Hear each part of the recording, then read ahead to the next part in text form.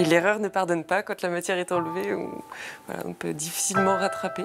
Donc effectivement, euh, ça demande beaucoup de concentration. Il y a, parfois, on arrête de respirer euh, et on y va.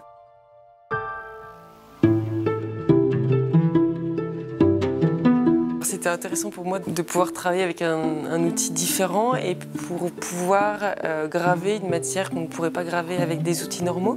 Donc euh, graver dans une matière transparente à l'intérieur. Donc ça reste artisanal étant donné que c'est la, main qui euh, dirige le laser et à la fois c'est complètement déstabilisant, c'est pas du tout la même sensation. Alors c'est vrai que Vachement Constantin est bientôt, bientôt 3 siècles, on a 265 ans cette année.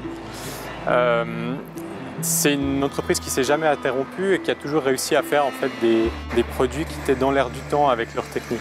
L'idée aujourd'hui avec l'innovation, c'est de continuer à faire des, des produits beaux mais avec euh, des techniques modernes avec les, technologies d'aujourd'hui. La particularité de notre laboratoire, c'est d'étudier comment des lasers à impulsion qu'on dit ultra courte peuvent transformer la matière. On étudie en particulier comment ces lasers vont permettre d'introduire de nouvelles propriétés physiques, de changer par exemple les propriétés mécaniques, les propriétés thermiques, les propriétés optiques tout ce genre de choses dans le volume de la matière sans retirer de matière, mais vraiment en la transformant. On utilise des impulsions laser qui sont de l'ordre de, la centaine de femtosecondes. Elles vont concentrer la puissance sur des temps très courts. On va aussi également concentrer la puissance spatialement à l'aide d'objectifs de, de microscope qui vont permettre d'avoir une forme un petit peu en forme de sablier.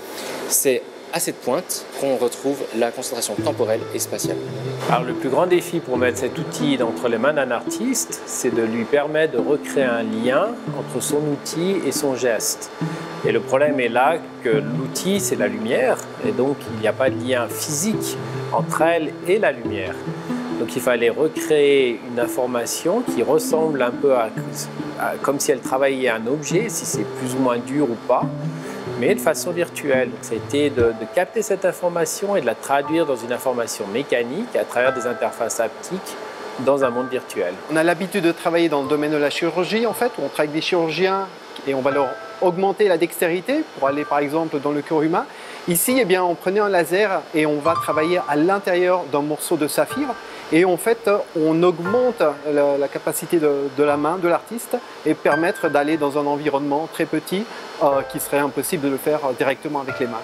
Eh ben, c'est pas évident du tout. Cet outil ressemble plus à un stylo euh, qu'à un burin. Et puis que voilà, il y a une adaptation du geste. Euh, on a le bras plutôt dans le vide. On n'a pas de support, donc il faut vraiment acquérir ce geste et une fluidité. Mais ça demande de l'entraînement.